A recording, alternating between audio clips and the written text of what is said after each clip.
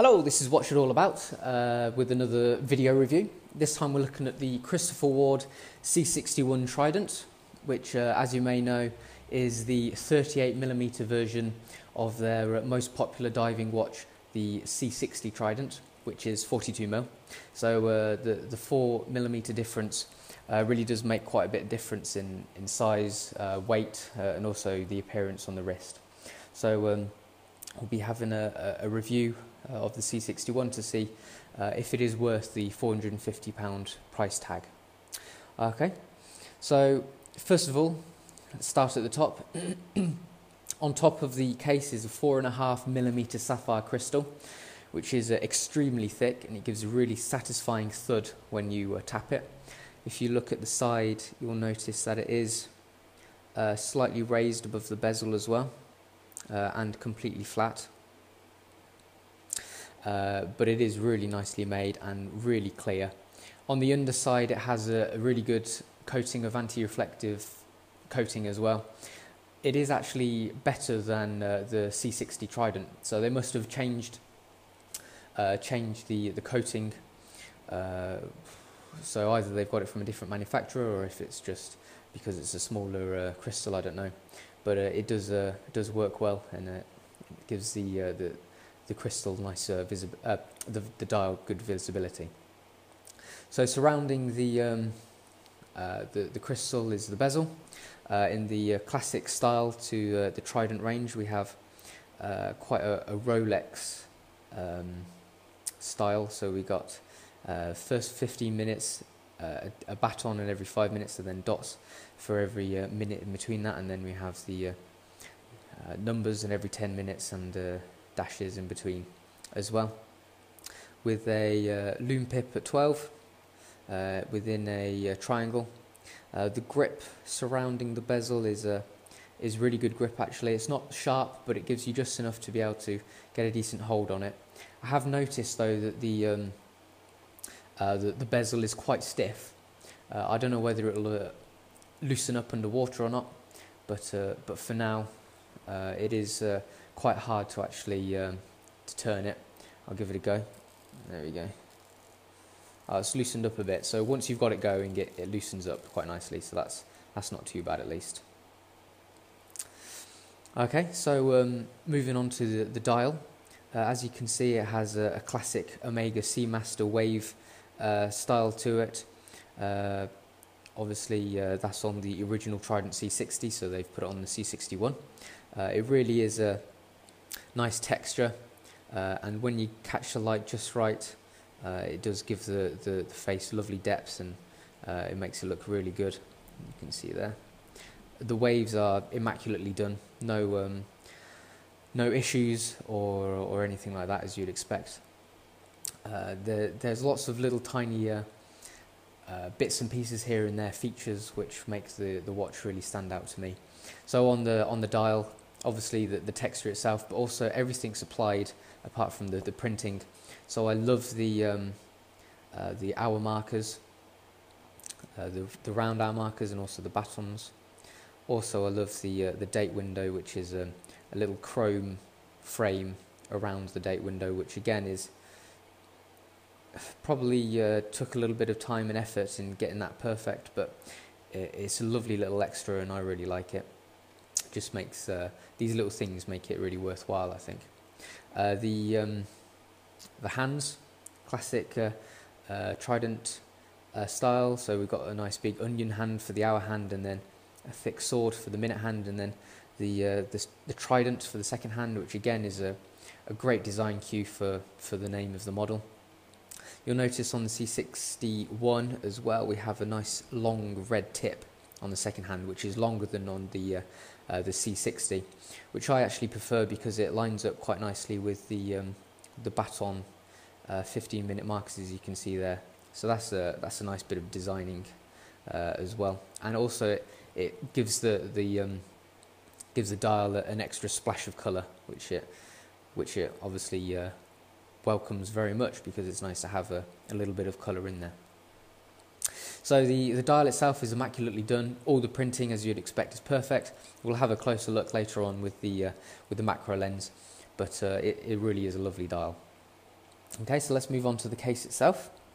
So you'll notice uh, we have our crown uh, with uh, some crown guards protruding to about half the depth of the crown. We have the Christopher Ward CW logo embossed on the end of the crown as well, which is very well done.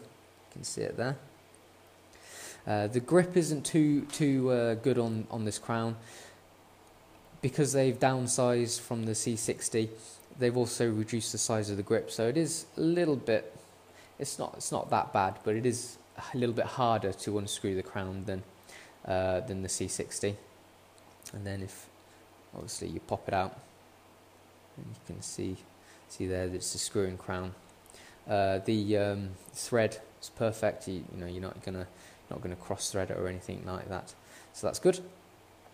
Uh, the, the case itself is immaculately machined, so we have a nice brushed finish along the sides, and then the top and the bottom uh, is all polished as well. So this uh, this variety of finishing is uh, is, is really nice. Um, uh, it gives it a good uh, appearance in, in various lights. It, you know, the different parts of the um, of the case ref- reflect the light in different ways, so that um, makes it makes it look pretty good when the light hits it. So that's nice. Moving to the uh, case back on the underside, uh, we have a, a trident uh, icon embossed in the middle. Let me just wipe this down.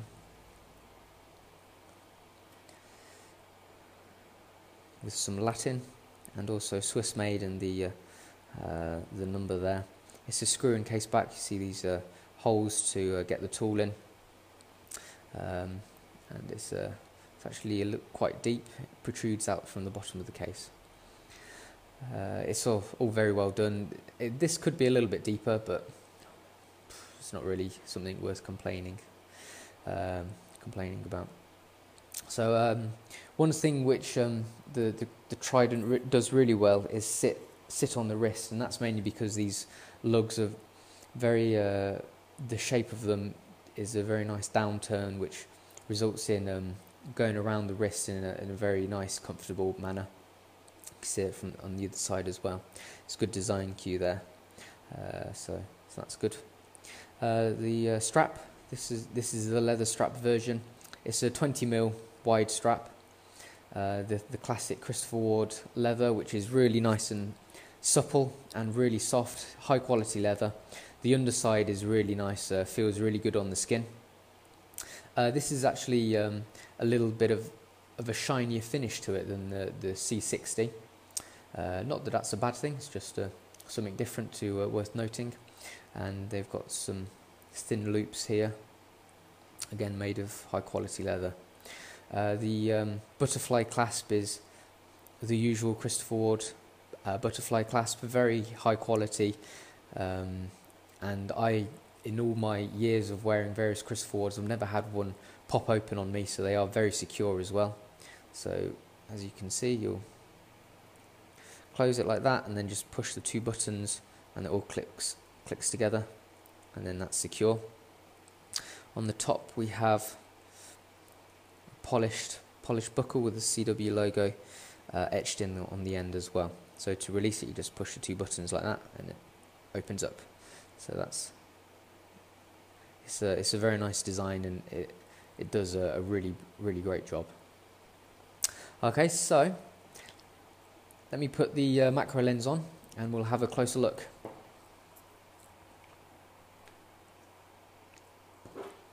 Okay, so let's start looking at the uh, dial. So here's the date window I mentioned before. Very nice um, chrome surround to it. A lot of thought and effort was put into that. And then we have the hour markers. There's a baton and a circular hour marker. Again, all immaculately done. The um, the wave pattern looks great as well as you can see. And there's the red tip on the second hand. Let's have a look at the hands now then. So there's the bottom of the trident, the counterbalance, the onion hand, and the sword hand, everything perfectly and immaculately done, as you'd expect for watch at this price, and the, the printing is really high quality as well.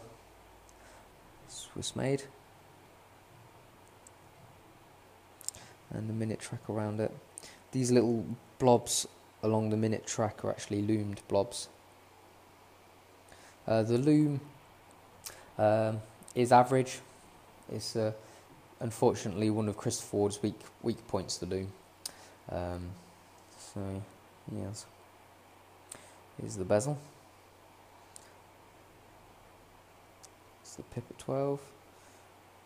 And we have this edging around the edge for the grip. The crown with the CW embossed on the end. We'll just unscrew the crown so we can look at the, the thread.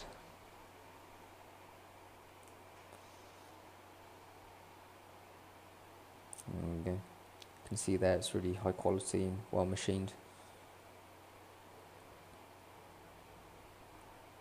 Okay, screw that back up. See the lugs as well.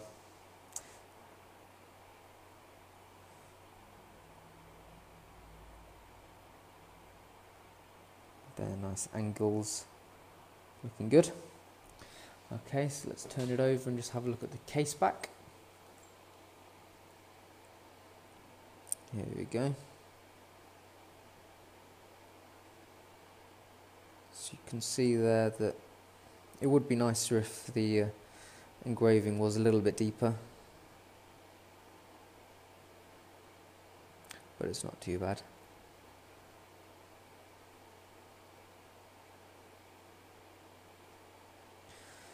Then let's just move on to the uh, the leather strap. So here's the top. Black stitching along the edge. High quality stitching, which is good. The underside really soft.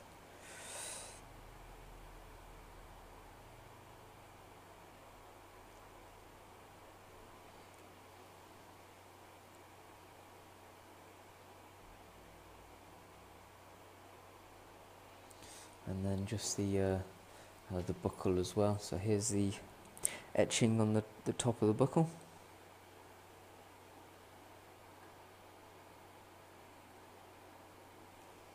And then the buckle itself.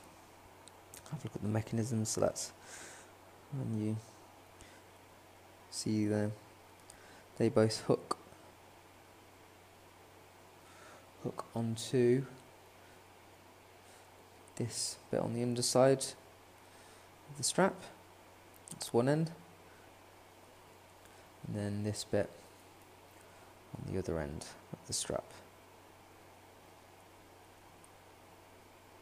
Strap in itself is obviously all uh, very high quality and, and very comfortable. So, uh, so there we go.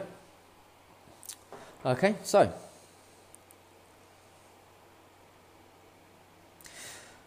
what do I think about the uh, the C61? Although the the price tag is quite high at 450 pounds, it is a Swiss-made automatic, and the specs are very impressive. Um, and it's just really well made and looks astonishing. I think when you've got it on the wrist, it, it really does demand a lot of attention. Uh, has a lot of wrist presence as well, and is really comfortable. You can just tell that it's high quality. Um, so I am always willing to um, recommend and suggest the the Trident to anybody who uh, who is after a, uh, an affordable dive watch. So, so yes, I do think um, that it's worthwhile, especially now that the uh, C60 uh, C61 uh, is uh, is available. This one, obviously, being four millimeters smaller, fits perfectly on on many more wrists than the, the the C60 because of it being slightly slightly smaller diameter. So it is it is very comfortable uh, to wear. Sits on the wrist just perfectly, uh, and it's a, a, little bit lighter as well. So you're less likely to uh, notice it from wearing it for a long time. Okay, so that's my review. I hope you enjoyed it. that's Watch It All About, and this was the Christopher Ward C61 Trident.